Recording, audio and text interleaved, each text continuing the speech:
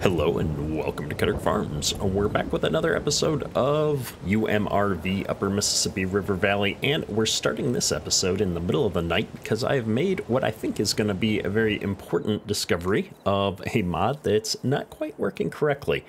We're currently leasing two fields using the, uh, I forget what it's called, uh, but land lease mod and I think it's charging us way too much money. So if we look here as we tick over into midnight, you can see it cost me $22,861 in the miscellaneous section there. And that is our uh, land leasing costs. However, if I look at the lease farmland screen, you can see we should only be paying a little over five, 5.6 thousand, 5.7 thousand dollars per day in land leasing costs, but instead we're paying a uh, an amount four times that because we're on four day months, and so instead of dividing that up into the uh, daily amounts like you see here, it's actually charging us the full month amount every single day, which is really unfortunate. Uh, and that's one of the main reasons why we are so far in debt and not making any progress here is that uh, those costs are so high. And so I definitely can't afford to be spending $22,000 every single day. Uh, that's going to add up to making the farm very unprofitable. So I'm trying to figure out what to do. I think we might uh, try and solve this problem with uh, without having to cheat our money back in or anything uh, crazy like that. Let's go ahead and tick past the six o'clock hour here. We'll get our milk uh, money. So we are still staying afloat. Uh, we're just not making nearly the profit that I had hoped off of uh, our huge investment here in all of these cows. If I uh, look at the land value here, I'd need $1.6 million to buy this big field setup over here and another $660,000 to buy the one down here. And so I think what we're going to try and do is really push towards getting enough money that I can just really uh, take out this loan. I'm going to see how far up this loan is going to let us go now. Uh, we do technically get the benefit of having all of that purchased land for a while uh, to increase our total asset value. And so I'm wondering if I can get up high enough here to return the lease on one of those fields and actually purchase it. Uh, rather than leasing it through the land lease mod. This will uh, increase our interest rates on our loan, but I feel like that's going to be a lot more reasonable than if we were to uh, keep going with a land lease mod. So I'm just going to crank this up as far as it'll go, see how many dollars we end up with, and buy at least one of those two fields. Well, I've uh, gotten tired of clicking, to be honest, but we're at $1.7 million here with a $2.5 million loan. Uh, and so with that, I think that's high enough to at least go after the larger of these two fields. Now, I'm really hesitant to do this, though, um, while I've got crops on the field. So I'm going to force a save on the game real quick just to make sure that I can do this. It'll be a fun experiment we can do together here. And I'm going to dissolve the lease and then immediately turn around and buy this land back, which is going to force me to rebuy my soil information, although all of my soil information appears to be reset here. I don't know why that is, but uh, we're also going to buy that, which is going to put us into the hole a bit. I'm not going to buy it for the other fields since we're going to have to go through and sell that back off at a later time. And then I guess I am curious if I can get this up to 600k more to buy that other field or not. This seems like a excessive amount of loan. Oh, we finally hit the limit here. We're not going to be able to uh, get enough to buy the other one. So I'm still going to be paying some exorbitant lease costs, but it'll be a little bit less than we were paying. And so hopefully this will be much more sustainable. I'm going to go ahead and dial our loan back down to a more reasonable a number there. And we've got the combine all switched over here to uh, sunflowers. So we're going to go ahead and get out here and start harvesting the sunflower field. You can see we are, again, trying to stick with our uh, moving a day forward each uh, episode.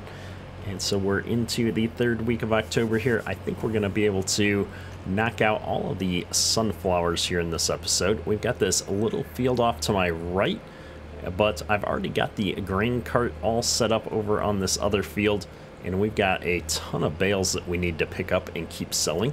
I think that uh, hopefully once we sell off all of these bales, maybe sell off these sunflowers, we might actually get to a point where we can afford to uh, dissolve that other lease altogether. We'll have to see. Um, we're probably going to hang on to the sunflowers for a little bit, though, until we get to a better price point. I'm excited to try out this 12-row uh, folding header that uh, I believe JHHG Modding released this. It's a pretty slick-looking mod. And I believe this field is going to be super simple to harvest. We are going to fire off a courseplay worker on it, though, just to uh, knock it out nice and quick. And I'm going to do sharp for the headland corners here, see how that works out this time. Not that we're making stocks or anything like that, but uh, we do have a couple of really hard corners up on this end at least. So we'll see how it goes. And I'm going to force it to have a nice straight path here, looking good. And as always, we've got a little bit of an awkward uh, starting point, so let's just go ahead and help course play out here. We'll get going, cut our way in a little bit here, and off you go, sir. You still missed the corner. Either way, that's looking good. I'm to let this guy go. It doesn't look like the sunflowers are to fill up that quickly, so we've got a little bit of time. And man, the uh, nitrogen and pH values are just trash on this field, but uh, I guess it is a leased field. It's not like we planted this stuff. And while that's going, we're gonna come back over here. I'm gonna load up some bales and see if I can get a, another batch of bales sent on up to the sell point. I've been loading these up on the trailer and then sending them back up to town with auto drive. It seems to be working quite well. And so we're just going to keep uh, knocking the bales out on this field. I've sent a few loads up. We get about, uh, I want to say 11,000 per trailer load, which seems like a lot for a handful of uh, soybean stalks. But alas, this is Farm Sim, and we could definitely use the money.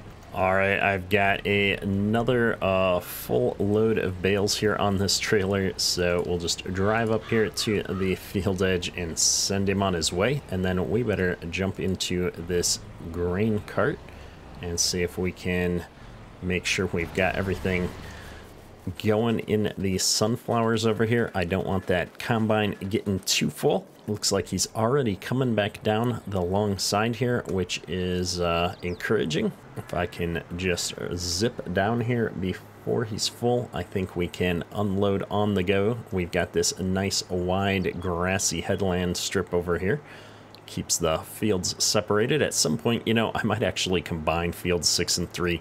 I don't know. We'll have to think about it, but uh, this on the one hand this grass strip does feel like a little bit of a waste of space. On the other hand eh, it's kind of nice to be able to have a couple different crops going. These sunflowers are definitely not yielding quite as well as our soybeans did. Let's see if I can get up here. It'll be nice to unload on this a long way down though. Puts us in a good position. Ooh, we're slipping a bit here. Oh my goodness I keep turning off the cruise control by accident. It seems like we're harvesting a little bit faster uh, than we did with corn for whatever reason. I'm going seven. I guess I'm going a little bit faster than the combine. Six miles an hour it is. I wouldn't think that the speed would change. Uh, it should be pretty much locked in by whatever the header is set to operate at, but I do seem to have to be bouncing back and forth here between 6 and 7 to keep the grain cart in the right spot. I'm actually driving 8 miles an hour when I'm going up the hill there. Oh, looks like we managed to empty him out here. Oh, and he is going to pick up that corner after all. Very nice. Well done, sir. All right, well, I'm now very full. I'm going to keep uh, this right here so I can unload again after we uh, tackle the next headland pass.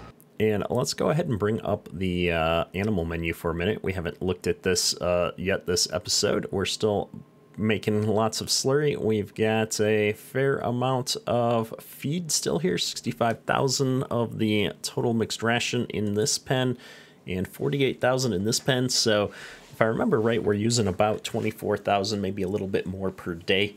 So we should be good for another day plus here before we've got to uh, put some more feed in there. Looking good. And we're rocking and rolling here on the sunflowers. Let's see, let's see. I think uh, essentially we've got just a lot of bale work to do before we're going to be able to start uh, worrying about anything like uh, tillage or fertilizer or any of that stuff. But our driver has reached the store. So if I hop on up here to the truck, uh, this is real easy. We just pull ahead a little bit, we unstrap them, and the sell point eats up all the bales we make $11,000 and a little bonus for our precision farming score. And then I just send this guy on back to field three. He'll be there in just a couple minutes. It uh, works out really well. It takes uh, apparently five minutes, according to AutoDrive, to drive back up to the field. So that saves us a lot of time letting it take care of those things for us. And as we can see, we're rocking and rolling here with the combine. Yeah, everything's looking pretty good. So what I've been doing in the meantime while we wait for the truck is I do go out and uh, gather a handful of bales here just to get them all in the same spot. It helps when we're getting ready to start loading that truck up. We've got all the bales, or at least several bales, already gathered and ready to go here. This uh, rear bale spike is working out great for us. It gives us just enough uh, ballast here to be able to pick up uh, two bales on the front. Things are a smidge bouncy, but they seem to work out pretty well for us. All right, so I've got the bale trailer going again here on another run, and we missed our opportunity to unload on the way back down. But Thankfully, he's not full yet, so we're going to sneak around here onto the other side and see if we can catch him on the way up here before he gets full. It's super close, super close, but we've just made it. Look at that. So let's uh, get geared up here. We are going to have to go seven up this hill. I'm, uh, I don't know, it's really weird that we're going a little bit faster.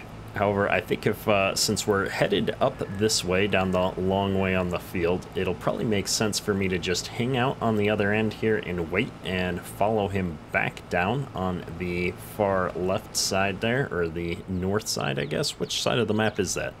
Well, this map is upside down, but we're going to call it north, even though uh, I think technically the top of the map is south, but we are going to follow him back down there along the other field of ours and see if I can get enough in here. I don't think I'll top off my grain cart, but we might get enough to justify going and unloading into the semi-trailer here.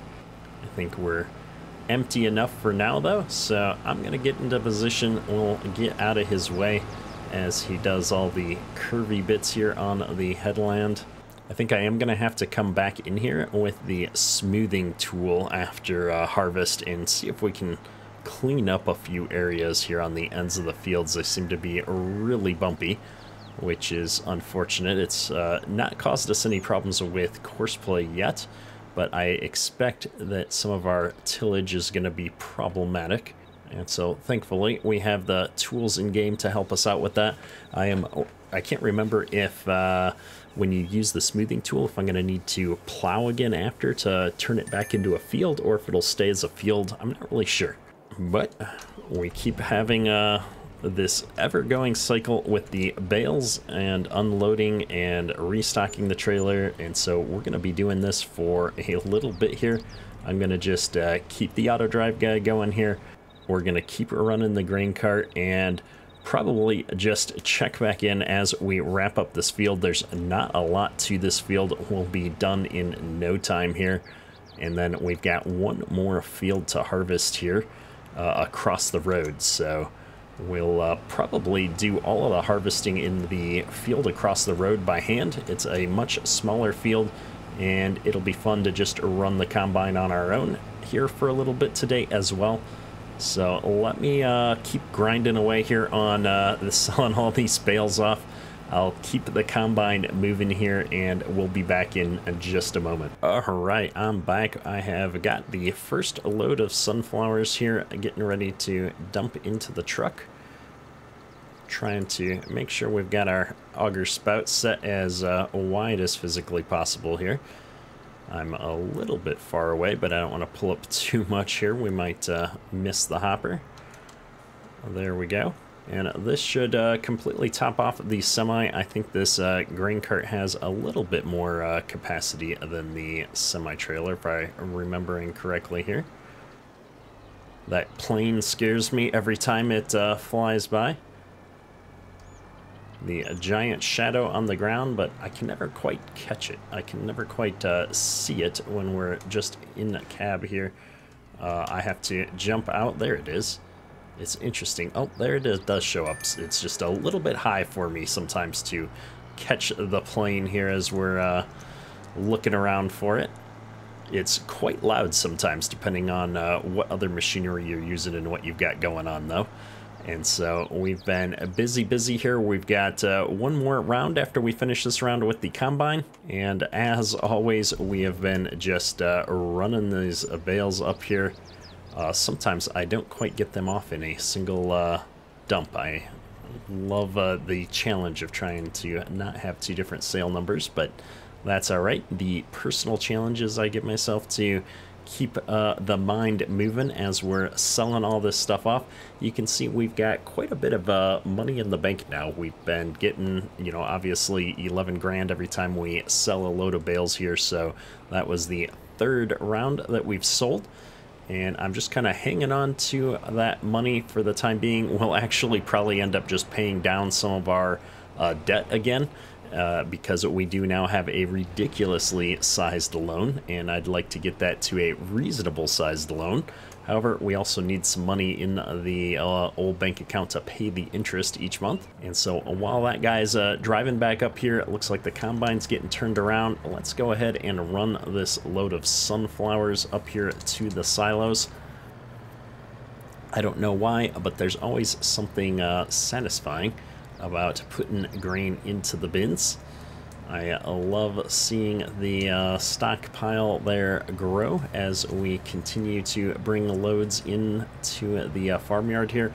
This will be our first load of sunflowers off of the field, and uh, just based on where we're at, I think we'll end up probably getting one more load between these two fields, maybe a little bit more, but uh, a couple semi loads is definitely worth our energy to hang on to for a better price here with the sunflowers.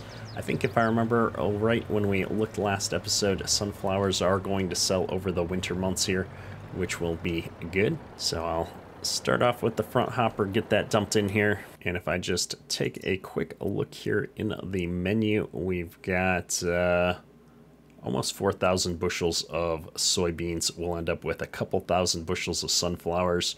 Yeah, it's going to be uh, uh, good times come selling time. All emptied out. Let's get run back up to the field here. I feel like our combine's got to be getting full, and there's the bale trailer going by. So we've got more bales to load. It's just a, uh, a busy time. Lots of uh, little jobs uh, here keeping us going. And of course, where I've got the auto drive points set up here, he's just in the way. We'll have to hop out here and get him moved out into the field. I've been kind of working my way from the front of the field back here. So I've got just a handful of additional bales out here in the corner. And then a lot of bales on the back half of, the field there still. So I'm gonna go ahead and drop the trailer here for the time being. And let's uh, let's get this semi off the road get the combine unloaded. I want to keep that combine moving. We're already after lunchtime here managed to pick up a lunch while we were up in the yard there and now we've got to um, get this field knocked out so we can go hit the other sunflower field here before we get to the end of the day. I hate uh, working in the dark, and I feel like I probably missed a message here at some point. because uh, I don't see the combine. Oh, it is still moving. Look at that. Well, we haven't uh, held things up just yet, but it's got to be getting full. So we're going to book it, book it, book it, see if we can get down here. The 25 miles an hour always feels so slow uh, when you have places to be. However, in reality, we're just uh, flying through this field. Oh, it's not as full as I thought it would be, but it is getting pretty full. Oh, it got full. We didn't quite make it. Look at that. Ah, well. It was uh, worth the shot. See if I can keep up with him here and get straightened out. We're a, a little uh, too far back. Well, timing could have worked out just uh, five seconds faster and we would have been all right, but it didn't really slow us down any, and this is going to put us in the perfect position for packing up and moving over to the other field because we'll be all cleaned out and all of our equipment on the uh, closer end of the field here to the exit. Always like when a plan comes together, very convenient for us. And we should be all cleaned out. There we go. I think uh, course play is going to be all done there. That's awesome. So I'm just going to run this up and dump it into the semi as long as we're driving here. I think it'll be the easiest thing to do. And while that's unloading, let's go ahead and grab this combine and get it over here. I want to get set up. We are going to do the next field on our own here. So I want to make sure I've got the bale trailer headed back up to the store and uh, such before we get started on this and just to uh, maximize our efficiency I want to get as many of these bales sold off today as possible but I always find it easier to just move equipment around when we're thinking about it when we're in position to do so. So we'll just jump this guy across the field here get his header unfolding and such and then we'll be right back over here to get started on this field. All right, another load on its way up to the sell point. Let's get going here on this harvest. I'm loving it. I have been playing with the time settings again, and I'm finding 10x is a little bit fast at times, so I think we're gonna try and bring ourselves down to 6x and see how I feel about that uh, just because I want to get a, a certain amount of stuff done in a given day and I felt like we were going to be getting into the dark here pretty quick if I kept it at 10x. So we'll uh, we'll try 6x and see how that goes. I know I'm playing around with a lot of stuff in this series, and uh, hopefully that's uh, not too annoying. We're trying to get things dialed in here as we keep pushing on these uh, daily content uh, videos. I've been having a lot of fun here on UMRV, and I'm really excited to uh, get through our first full year here. We're almost through the harvest cycle and getting all the jobs done here around the farm. I'm uh, glad that we decided to go for a little bit bigger of a farm, and I'm really excited to get into planting season here soon. I think the winter months are going to go by pretty quick. All we've really got to do is take care of the animals and sell some grain. So we'll be jumping right on over into uh, planting season here faster than you think. But we might have just a little bit more tillage I need to do here on some of these fields uh, where possible. I think the sunflower fields are going to end up needing to be tilled afterwards. I can't recall now. I know we looked in one of the previous episodes. I took a look at that map, but I haven't uh, retained that information in my mind. Let's jump in here. I always love how when you're doing the sunflowers, the corn header is uh, a lot higher, or the header in general. I guess it doesn't have to be a corn header here. But uh, it always feels kind of odd, but I know you're really just trying to get the head of the sunflower there. I'm still just not quite cut out for in-cab driving here uh, for harvest most of the time. I find it so much easier to just jump out here into our external view. So I think we're gonna keep it out here.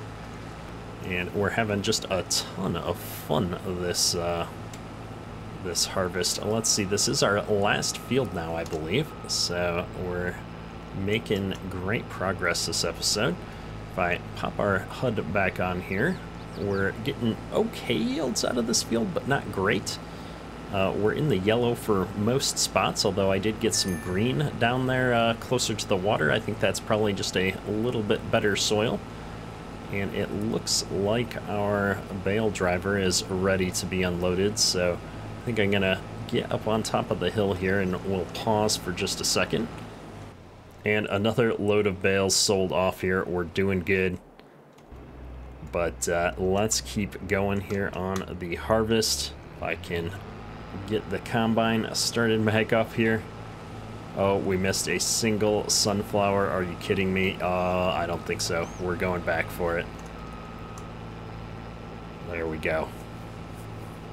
We couldn't leave him there all by himself. The lonely sunflower. Trying to actually keep ourselves aligned with the rows here. I guess I could uh, turn on a GPS track real quick. Oh, we've uh, created a crooked path. Look at that. We better make it straight or we'll have regrets on future uh, runs.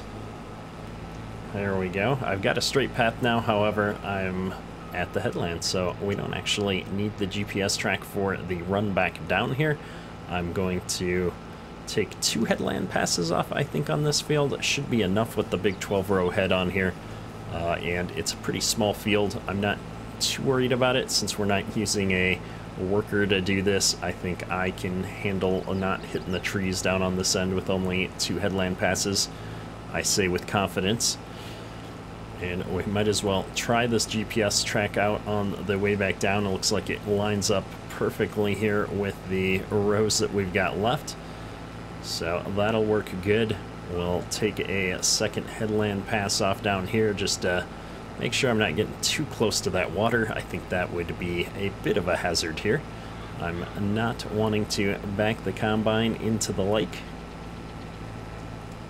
and I'm starting to get full. We're at 72%.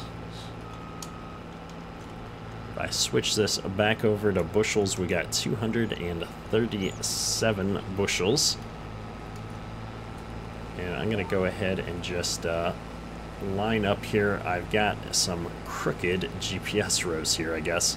So we're going to just keep the track that we're on. We'll jump over here and take this up and then uh, we might actually finish this out in one hopper, I'm not sure. But since the other driver here is uh, back, maybe what I'll do is we'll turn off GPS. I'm going to set the in-game worker going for a second. And we'll go ahead and get these bales loaded up. And then I'll bring the grain cart out here to empty the combine. She's nearly full at 80%. I think we've got everything up from this corner here. So now we're going to be down in the uh, heart of the field here. We're getting closer and closer. We've got a lot of bales left to go, though. I'd probably say we've got at least four more loads of bales to do. But before I get started on that, we better go and unload the uh, combine just because I do want to get that wrapped up, get these sunflowers up into the bins while we've still got the daylight running at 6x here seems to have slowed us down sufficiently where we're uh, doing good on time. If we just check here, oh man, I don't know if we're gonna make it down to the end row. We're at 93%. Got over 300 bushels in the hopper here. We're going to risk it. We're gonna make the attempt.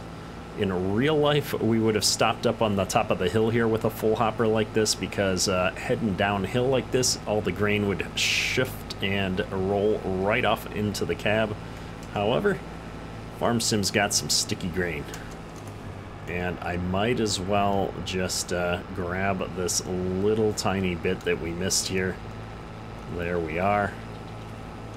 And I think what I'm going to do since uh, I don't think it's going to be that easy for us to unload on the go with such a short row is we're just going to circle around over here and dump the grain on into the grain cart.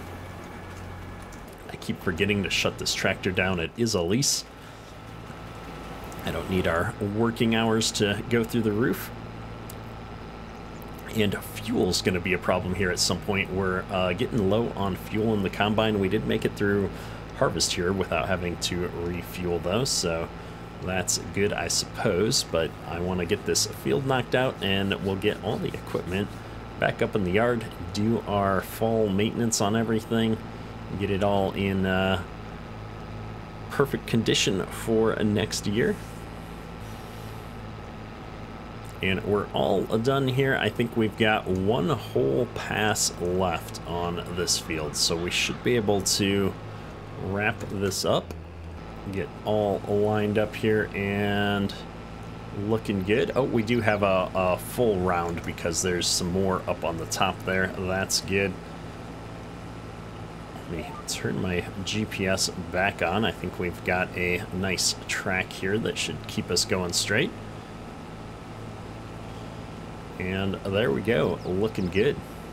And here we go, the last little bits of harvest right here. Our sunflowers are now complete as is our harvest here for our first year on UMRV.